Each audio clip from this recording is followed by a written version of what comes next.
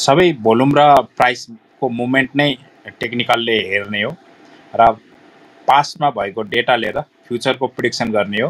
नेपालको हिसाब हेर्ने भए जब ठुल्ठुलो भोल्युममा पाँच सात दिनको कारोबार हुन्छ त्यसपछि बजार चाहिँ झरेको छ। बहत्तर त्रिहत्तरमै होस् पैँसठीमा होस् हिजो अस्ति होस् वा अन्ठाउन्नमा होस् प्रत्येक बुलमा चाहिँ बजार झरेको छ। र झर्ने क्रममा कस्तो हिसाबले झऱ्यो कहाँ के भयो यो त सबै देखिन्छ होइन? हामीले एक करोडभन्दा मुनिको बजार पनि देखिएको धेरै धेरै पल्टसम्म चाहिँ बजार दुई करोडभन्दा मुनिको कारोबार भयो भने कुनै कुनै दिन चाहिँ एक करोडको पनि भयो बजारको अति चरम बेरिसमा। तर त्यो चरम बेरिस त्यस्तो बेरिस अब पनि बजारमा चाहिँ आउँदैन होइन? त्यो मास थिएन साइक सेयर बजारमा सबलाई डोमिनेट गरिरहेको थियो र आम मान्छेले सेयर बजार बुझेको थिएन र दस पन्ध्र हजार मान्छे मात्रै लगानीकर्ताहरू थिए। आफै सम्झिनुहोस् म त्यति वर्ष पछाडि नबिल ब्याङ्कको त्यस्तो पछाडि भनेको लगभग नबिल ब्याङ्कको खोलेको भन्दा पन्ध्र वर्ष पछाडि पनि मेरो सेयर होल्डर नम्बर चाहिँ चार हजारमै थियो क्या बुझ्नु भएन चार हजार भनेको कतिजना रहेछ सेयर होल्डर नम्बरै चार हजारमा थियो होइन? भने कुनै कुनै कम्पनीको म हजार बाह्र सय नम्बर हुन्थ्यो कि सेयर धनी नम्बर मै आफै छक्क पर्थेँ। थोरै रहेछन् हामी पब्लिकहरू भन्ने कुरा। थोरै सेयर धनीहरू चाहिँ थिए। अब र यो टुलका कुरा चाहिँ त्यही भोल्युमले प्राइसले नै हाम्रो साइकोलोजी नाप्ने नाप्ने हो हाम्रो हिसाबले। हन्ड्रेड पर्सेन्ट मिल्दैन यो सत्य कुरा नै हो होइन? फेल खाएको नभन्नु टेक्निकल जान्नु पर्यो हन्ड्रेडमा हन्ड्रेड सेक्योर हुँदैन। दुईवटा अर्को कमोडिटी मार्केट र यही वेब पनि स्टक मार्केट इक्विटी मार्केटमा लगाउने तरिकाहरू फरक फरक हुन्छ र फरक फरक देखाउन सक्छ होइन? कहिलेकाहीँ कमोडिटी मार्केटबाट चाहिँ टिए गरिराख्नु भएको साथीले कहिलेकाहीँ स्टक मार्केटमा आएर त्यसलाई डिस्क्राइब गर्दाखेरि होइन चाहिँ केही केही कुरा चाहिँ मिस्टेक हुनसक्छ त्यहाँ अलिकति दुई चारवटा कुरा चाहिँ फरक हुन्छन् इलिड वेबमा बुझ्नुपर्ने कुराहरू चाहिँ छन्। अब हाम्रो मार्केटलाई सबैभन्दा ठुलो ड्राइभ त जहिले पनि भनेछ पोलिसीले ड्राइभ गर्छ मार्केटलाई होइन? यो इलिट वे सिलिट वे कुनै ल टेक्निकल फन्डामेन्टल नगर्नु एउटै मात्रै बजेट भाषणमा राख्नु ल नेपालको स्टक मार्केट विश्व बजारको लागि कर्मबद्ध रूपमा छोडिनेछ। दुई वर्षसम्म नियम नीतिहरू बनाइन्छ र दुई वर्ष पछाडि बजार चाहिँ विश्व बजारका लगानीकर्तालाई छोडिन्छ। ल यो पोलिसी मात्रै बनाउनुहोस् बजार बुल होइन सुपर बुल भएन भने मलाई भन्नु होला नेप्से पाँच हजार पुगेन भने मलाई भन्नु होला। नीति यति बनाइदिनु न नीति मात्रै बनाइदिनु न विश्व बजारका मानिसले लगानी गर्दा पाउन सक्छन्। होइन? तपाईँको पैसा पनि चाहिएन देशको कसैको पैसा चाहिएन तरलता नेपालमा टाइट नै भयो। अरे केही फरक परेन नि त। विश्वका लगानीकर्तालाई आउने होइन? पोलिसीले बजार चाहिँ मेन चाहिँ पोलिसीले ड्राइभ गर्छ। त्यसपछि हाम्रो साइकोलोजी र हाम्रो बिहेभियरहरूले चाहिँ बजारलाई ड्राइभ गर्छ। अब र यो हाम्रो जुन स्वभाव र जुन साइकोलोजी मनोविज्ञान छ र हामीलाई जुन प्रकारको सेन्टिमेन्ट हाम्रो मनमा उत्पन्न हुनसक्छ र हामीहरूलाई कुनतिर धकेलिदिने भन्ने अहिले सम्मसम्मका विभिन्न प्रकारको टिएदेखि लिएर ग्रुपदेखि लिएर क्लब हाउसदेखि लिएर समग्र रूपमा चाहिँ छलफलहरू गर्छन्। अब र यो यो मान्छेहरू कोरा कागजै थिए। मानिसहरू आफ्नो आफ्नो विषयमा विज्ञता होला। यो सेयर बजार भनेको एउटा विभागीय विषय हो। यो विषय एउटा वस्तुगत विषय हो। यसको फाल्टै टाइपको टर्मोलोजीहरू छन् होइन? यसको फिज ओहरू चाहिँ फरक टाइपको छन्। यहाँ हामीले अलिकति बुझ्नुपर्छ। यहाँभित्र चलखेल हुँदो रहेछ। भर्खर त मान्छेलाई थाहा भयो नि होइन? यो कोरा मानिसहरू थिए कि यो दुई हजार उन्नाइसको कोभिडले मानिसहरूलाई घरमा बस्दा सजिलो व्यापार अनि अरूले कमाइरहेको र ए यो त सजिलो रहेछ। आइपिओबाट पनि पाँच हजारको आइपिओ पच्चिस हजार भएको। त्यहाँबाट मानिसले आफ्नो मनको क्यालकुलेटर थिचेर ल यो हिसाबले जान्छु भन्ने हिसाबले बजार पनि बढिरहेको सबले बजारलाई पनि साथ दिइरहेको र कमाइरहेको होइन? देखिएको हुनाले मानिसहरू चाहिँ एकैचोटि हाम फालेको र यो बिसौँ लाख मानिस चाहिँ कोरा मस्तिष्क नै थिए स्टक मार्केटमा। त्यही कारण मैले आफ्नो फेसबुक पेजमा हेर्नुहुन्छ भने योभन्दा एक वर्ष अगाडिको मेरो फेसबुक पेजमा पढ्नुहुन्छ भने चाहिँ लेखिदिएको छु। नयाँ आउनुभएको साथीहरूले अनुभव लिएर जाने हो। पैसा त नयाँ पुराना मान्छे र जानेका बुझेका लान्छन्। स्टक मार्केटमा विभिन्न प्रकारको रणनीतिहरू हुन्छन्। त्यस्तो रणनीतिक चाल चलेको छ भन्ने कुरामा राख्यो। अब बजार बुल भइरहेको थियो होला। मैले लेखेँ होला बत्तीको बत्तीमा कहिलेकाहीँ पुतलीहरू आउँछन् लास्ट टाइममा पुतलीहरू त्यही बत्तीकै वरिपरि घुम्मिफिरी गर्छन् तर पखेटा डढेपछि मात्रै थाहा पाउँछन् म त सकिएको रहेछु भनेर। तपाईँहरू बत्तीको पुतलीमा आइराख्नु भएको छ। त्यस्तो हिसाबले नजानु होला क्लब हाउसमा पनि विभिन्न व्यक्तिहरू आएर त्यस्तै टाइपले बोलिदिइराख्नु भएको थियो। अब त्यो उहाँहरूको मासमा मभन्दा तगडा तगडा पावर भएको हुनसक्छन्। पैसाको पावर हुनसक्छ राज्यको पावर हुनसक्छ पोलिसी मेकरको पावर हुनसक्छ। त्यस्तो त्यस्तो व्यक्तिसँग मैले धागा धरेर बोल्न व्यक्तिगत नाम लिएर त सक्दैन थिएँ होला। तर आफ्नो फेसबुक पेजमा र मसँग पढिरहेका विद्यार्थीहरूलाई बरु मार्केटमा अहिले नछिर भन्नेकै हुँ होइन? बजार नछिर अब यस्तो बजारमा छिर्नु हुँदैन। यो बजार कतिखेर झर्छ त्यो चाहिँ डेन्जर अवस्थामा पुगेको छ। कम्पनी वाइज किन्न सकिन्छ। किन्छौ भने यो कम्पनी किन्नु पऱ्यो यो कस्तो कम्पनीमा चाहिँ जानु भएन भन्ने बजार झर्ने क्रममा फेरि सबै कम्पनीहरू झर्छन्।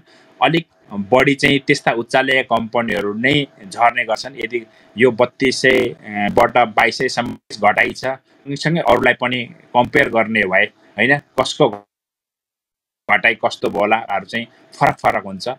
भिड जतापट्टि जाने हो त्यो टेक्निकलले त्यतैपट्टि हेर्ने हेर्ने नै हो। एउटा उदाहरण दिएर बुझाउँछु म। दुईवटा स्विमिङ पुल छन् सफा पानी छ दुइटै एउटा स्विमिङ पुल छ त्यसमा सफा पानी छ दसजना मात्रै पौडी खेलिरहेका छन्। अनि अर्कोतिर चाहिँ फोहोर फोहोरै फोहोर पानी छ पौडी चाहिँ डेढ सयजनाले खेलेका छन् भने हाम्रो मस्तिष्कले चाहिँ यो टेक्निकलको पट्टिको पार्टबाट भन्ने हो भने त्यो फोहोर पानीमै खेल्नुपर्छ भन्ने नै हो र त्यो फोहोर पानीमै जानुपर्छ डेढ सयजना छिरेकैमा जानुपर्छ भन्ने हो र त्यसमा केही कुरा छन्। त्यहाँबाट केही लिएर आउनुपर्छ नै सोच हो होइन?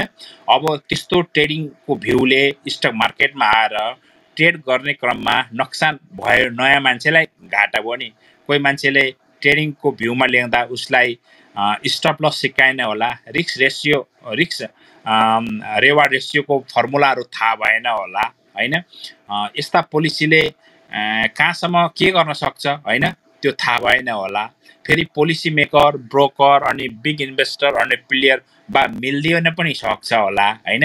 यी विभिन्न कुराहरू चाहिँ स्टक मार्केटमा रहिरहन सक्छ। यी कुराहरू पनि हामीले चाहिँ ध्यान दिनुपर्छ। त्यसकारण त्यो ध्यान दिनुभयो भने त्यो सँगसँगै टेक्निकलका पनि केही ज्ञान जानियो भने राम्रो हुन्छ मलाई त्यस्तो लाग्छ। र दस करोड आउँदाखेरि अर्कै अनि एक करोड आउँदाखेरि अर्कै भन्ने चाहिँ हुँदैन। भोलुमले सपोर्ट गरिरहेको छ। यो ठाउँमा चाहिँ सबैभन्दा बढी किताहरू किनबेच भएको रहेछ भनेपछि त्यसलाई चाहिँ मार्क गर्छ भन्नुपर्छ टेक्निकलले। मार्क गरेपछि त्योभन्दा तल आयो भने धेरैजना मानिसलाई चाहिँ नोक्सान हुनसक्छ र त्यहाँ बिग इन्भेस्टर पनि फसेको हुनसक्छ बिग प्लेयर पनि फसेको हुनसक्छ। उनीहरूलाई एक्जिट गर्नको लागि पनि त्यो प्राइसमा चाहिँ तल आयो भने बायरहरू चाहिँ हुनसक्छ भन्ने नै हो। होइन? अघि डेढ सयजना मानिसले पौडी खेलेको ठाउँमा गइयो भने कथपकाजी एउटा डुबिहाल्न खोज्यो भने त्यो डेढ सय नै डेढ सय मध्ये मान्छे एउटा न एउटाले देख्छ। फोहोर पानी भए तापनि होइन? तर सफा पानीमा चाहिँ आठ दसजना मान्छे मात्रै हुनसक्छन् उनीहरू पौडी खेलेर निक्लिसक्छन्। राम्रो पानी छ तर एक्लो हुनसक्छन् स्टक मार्केटमा अहिले त्यस्तो भयो होइन? फन्डामेन्टल साउन्ड कम्पनीतिर थोरै मानिसले मात्रै आँखा लगाए र जहाँ थोरै किताहरू छन् वा अलिक त्यस्तै स्टकहरू छन् जसलाई हिट गर्न सकिन्थ्यो। दुई चारजना प्लेयरहरू मिल्दाखेरि दुई चारवटा पैसाले यो प्ले भनेको पैसाको होइन? पैसाको खेल हो स्टक मार्केटमा। पैसाको खेल उहाँहरूले देखाउनु हो भने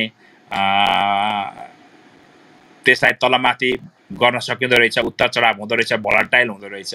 अब रह्यो हामीले सेयर किन किन्ने भनेरै थाहा पाउनु पऱ्यो सेयर अधिकांश मान्छेले सेयर बढाएर किन्ने र क्यापिटल गेनको लागि मात्रै बजार आएको भन्ने चाहिँ मैले थाहा पाएँ होइन? मैले पढाउँदा थाहा पाएँ नि क्यापिटल गेन बाहेक कम्पनीले बोनस सेयर दिन्छ यो दिन्छ भन्ने थाहा नै नभएको रहेछ होइन? क्यापिटल गेन हुन्छ बजार बढ्दै जान्छ बढ्दै जाँदाखेरि कहाँसम्म बजार पुग्छ यो चाहिँ सबलाई थाहा छैन। र त्यो अन्तिममा जो मान्छेले किनिदिन्छ त्यो किन किन्छ त त्यसले? होइन के आश देख्छ र किन्छ? के लोभले किन्छ? केही दिँदैन भन्ने। कम्पनीले केही न केही दिन्छ त्यसकारण मानिसहरूले किन्छन्। अब हामीले त्यस कारण थाहा पाउनु पऱ्यो टेक्निकल पनि त्यस्तो कम्पनीको हेर्नुहोस् मेरो जहिले भनेको छ मैले। टेक्निकल पनि त्यस्तो कम्पनी हेर्नुहोस् जुन कम्पनी फन्डामेन्टल पनि साउन्ड होस्। यदि बजार झरीको भने पनि एभरेजिङ गर्दाखेरि आनन्द होस् वा थाम्यो भने बढोस् होइन? मैले त जतिजना मानिसलाई बेयर बजारमा मात्रै छिराएको छु। बुल बजारमा सकभर मार्केटमा मान्छेलाई मैले छिराएकै छैन। होइन? बुल मार्केटमा चाहिँ मार्केट यो बत्तिस सय उन्तिस सयदेखि उता तिन हजारतिर मैले मार्केटमा कोही मानिसलाई छिराउनै छिराइनँ। किनभने बजार बेर आउन सक्छ। यो त बुल भइसक्यो। मैले अधिकांश बेरमै छिराएको बेरमै छिराउँदा पनि कहिलेकाहीँ नोक्सान नभएको भन्ने चाहिँ होइन। रिसाएका छन् मसँग। एउटी बहिनीले सायद त्यो दुई हजार पन्ध्रतिर हुनुपर्छ जस्तो लाग्छ। वा सोह्रमा हुनुपर्छ। पाँच तोला सुन बेचिन् र सेयर बजारमा हाल्दा तिम्रो दस तोला हुन्छ त भनिदिइहालेँ मैले। तर दस तोला भएन त पाँच तोला सुन चाहिँ तिन तोला भयो। पुरा रिसाउँदै थिएँ मैले भने बहिनी फेरि यो सुन राख यत्तिकै सेयर किने छोडिदिइराख। आँखा चिम्म गर दुई वर्ष ढिलो लाउने भयो तिमीले घना यो तिन पाँच तोलाको तिन तोला भयो यही तिन तोला बढेर फेरि दस तोला हुन्छ भने अस्ति उनले बेच्दा त्यो बेचेर सेयर किन् सुन किन्दा पन्ध्र तोला भएछ। खुसी भएन होइन? पाँच तोलाको पन्ध्र तोला भयो। तर छ वर्ष लाग्यो पाँच तोलाको पन्ध्र तोला आउन त्यस्तो मानिसलाई आफ्नो पैसाको भएको नाताले भयो। अब अर्को बहिनी चाहिँ मसँग रिसाएकी छिन्। किन रिसाइन् भने उनले त्यो पैसा चाहिँ अढाई रुपियाँ ब्याजमा लाएकी रहेछन् कि गाउँमा। अब अढाई रुपियाँ ब्याजमा लागेको पैसाको रिटर्न त स्टक मार्केटले अढाई पर्सेन्ट भनेको थर्टी पर्सेन्ट हो नि त। त्यस्तो त्यस्तो नदिन सक्छ नि त बजारले त होइन? मैले त अढाई रुपियाँ ब्याजमा लगाइरहेको थिएँ भनेको मतलब एक लाख रुपियाँको पच्चिस सय महिनाको आउने तिन महिनाको पचहत्तर सय आउने अब तिन महिनै तिन महिना पचहत्तर सय पचहत्तर मार्केटले दिँदैन त्यस्तो टाइपको पैसा चाहिँ हाल्नु भएन। अब त्यो पचहत्तर सय पचहत्तरलाई जोडेर राख्ने हो भने त्यो मान्छे मर्थ्यो कि बा साउ खाएर भाग्थ्यो कि बा भनेर सोध्ने हो भने पचहत्तर पच्चिस सय पच्चिस सय चाहिँ पाँच दस वर्ष राख्ने भए कुनै कम्पनीको कम्पाउन्डिङ गर्ने भए त्यो चाहिँ पुग्न सक्छ फेरि पनि थर्टी पर्सेन्ट मुनाफा चाहिँ हुनसक्छ। तर पाँच वर्ष सात वर्ष हुनुपर्छ होइन? टाइम लाग्छ।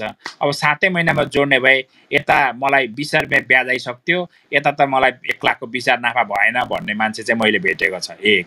दोस्रो बोनस सेयर भनेको पार भेल्नुमा दिन्छ भन्ने थाहा नपाएको मान्छे भेट्यो होइन? जस्तै एनटिसीले बिस पर्सेन्ट बोनस बिस पर्सेन्ट क्यास भनेको उहाँले पन्ध्र सयमा किनेको पन्ध्र सयको बिस पर्सेन्ट भनेको तिन सय रुपियाँ दिन्छ भनेर सोध्नु भएको रहेछ। नयाँ साथीले त्यस्तो होइन भनेर बुझ्नु पर्यो क्या पार पार भेल्युमा दिन्छ। नब्बे एनटिसीको एक सय रुपियाँ को पार भेल्यु भएको हुनाले उहाँलाई चाहिँ बिस रुपियाँ मात्रै दिने एक किताब बराबर पार भेल्युको हिसाबले दिएको। यो पनि थाहा रहेनछ मानिसहरूलाई एक होइन? दोस्रो यदि कुनै कम्पनीको अक्सनमा किन्यो प्रिमियममा किन्यो भने पनि प्रिमियममा किने पनि पार भेल्युले नै मात्रै दिन्छ। हाल्न त कम्पनीसँगै किनेको प्रिमियममा। लास्ट इयर हेर्ने भए सिआइटी नागरिक लगानी कोषको पैँतिस सय रुपियाँ हालेर कोही मान्छेले अक्सनमा सेयर किनेको रहेछ बुल बजारमा। हिजो पैँतिस सय थियो नि त उसको अक्सनमा पैँतिस सय पाँच रुपियाँमा कटअप प्राइस भएको। पैँतिस सय पाँच हाले हाल्दै हाल्नेले दस पर्सेन्ट पाउनु भनेको पनि एक सय रुपियाँ उसको पार भेल्नुमा पाएको पाउने नै हो। उसले कम्पनीसँग किने तापनि प्रिमियममा किने पनि पाउँदैन। अब बुक बेन्डिङमा जुन आइपिओ आउँछ त्यो आइपिओमा छ सय लाएर कसैले हाल्यो वा त्योभन्दा माथिको बिट फिक्स बिट फिक्सभन्दा माथिको बिट फ्लोटिङ बिट आएको रहेछ भने पनि पार भेल्युले नै पाइन्छ। यो पनि यो मासमा हामीले सुनिराख्नु पर्यो होइन? हो न सपोज कुनै दिन एनटिसी दुई हजार चौसठी या पैँसठीमा सरकारले छ सय रुपियाँ गोटाले छ सयभन्दा माथिको दाममा हाल्नुपर्ने भनेर बेचेकै हो।